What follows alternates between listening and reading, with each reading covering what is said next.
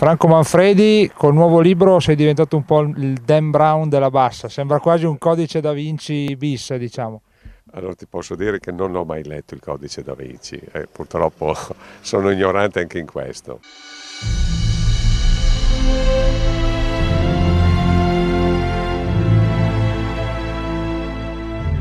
Consideratelo un nuovo codice da Vinci perché sareste fuori strada, ma il casalese Franco Manfredi, frequentatore abituale della Val Rendena, dove la presenza casalasca e cremonese di villeggianti tra Carisolo e Pinzolo è molto densa, è stato contagiato da una vera e propria passione. La prima volta accade nella chiesa cimiteriale di Santo Stefano a Carisolo, dove una delle figure sacre affrescate dai Bascheni, pittori che in pratica lavorarono in tutta la Val Rendena, aveva sei dita in un piede. Era per la precisione l'apostolo prediletto Giovanni, sei dita, un errore di calcolo forse, dato che i Baschenis non erano istruiti, e invece no, perché di lì a poco Manfredi ha scoperto altri casi di esadattilia nell'arte sacra, arrivando a contarne una ventina, due dei quali anche a Casalmaggiore, e se del caso del dipinto di Gesù Bambino al santuario della Fontana di Casalmaggiore con un piede a sei dita già parlammo la scorsa estate, l'ultima scoperta arriva da Motta San Fermo nella chiesetta appunto dedicata al santo che dà il nome alla frazione prima cosa della mia ricerca è quella di documentare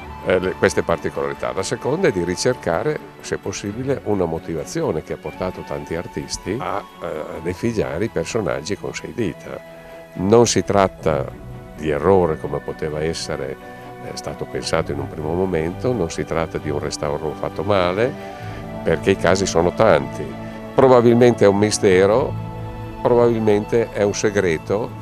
Avvicinandosi con lo zoom il particolare delle sei dita nella mano destra della figura orante è evidente. Manfredi lo chiama turismo del mistero, o meglio è convinto che questa possa essere una delle strade per attirare nuovi visitatori sia in Val Rendena, ma considerando i casi presenti anche nel Casalasco. Figure con sei dita vennero realizzate addirittura anche da Raffaello, dunque non si tratta più soltanto di una distrazione o di un errore di calcolo. Manfredi ha pensato di raccontare la sua storia e di raccogliere i carteggi avuti con storici dell'arte, uomini di cultura, tra cui Clelia Tranquilli di Milano, una delle principali studiose di questa anomalia artistica, ma pure medici che ben conoscono l'anatomia umana, in un libro Lo strano caso delle sei dita. C'è chi, come Don Vincenzo Biagini di Carisolo, in Trentino, da dove tutto partì, temeva che Manfredi cercasse quasi una prova dell'esoterismo. Non dimentichiamo che eh,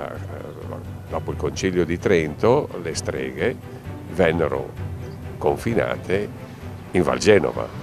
In certi casi chi aveva sei dita era considerato eretico. In realtà il casalese si è limitato a documentare e raccontare, può anche darsi che il 6 si riferisca al numero perfetto teorizzato da Sant'Agostino perché il mondo venne creato in sei giorni. Sia come sia sono almeno cinque gli artisti rinascimentali che di certo hanno creato figure con sei dita, una nuova strada tutta da scoprire e sondare e una chance turistica in più ben consci che la ricerca racchiusa nel libro di Manfredi è soltanto un nuovo inizio.